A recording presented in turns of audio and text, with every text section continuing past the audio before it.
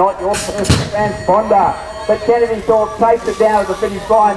Not easy if you please. Up to 10 boys vouchers. Lander, Murray, Clancy, Dawes, Wood, Cherubino and Campbell. 14.07 there. Ah, uh, Jay Lander gets a beautiful start there, gets a bit of a couple of lengths in front.